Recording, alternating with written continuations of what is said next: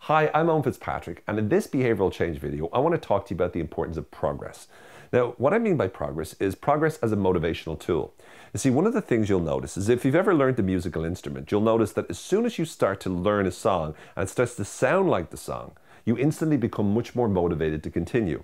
If you want to lose weight, if you starve yourself and eat, you know, food that you don't like and exercise lots, and then you step in the weighing scales, but you haven't made any progress whatsoever, you become demotivated. But if you notice you are making progress, you stay motivated or you become even more motivated. What this means from a behavioral change point of view is you need to track your progress. You need to find ways of making sure that you can see yourself making progress time and time again. So you need to measure your progress and make sure that you're regularly checking in to see how much more you're improving.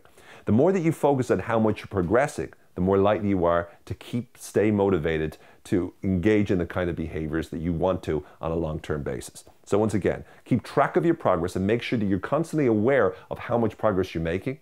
And the more you do that, the more motivated you'll be and the more likely you'll be to achieve your goals. I hope you find this useful. I'm Owen Fitzpatrick. Thank you very much for watching.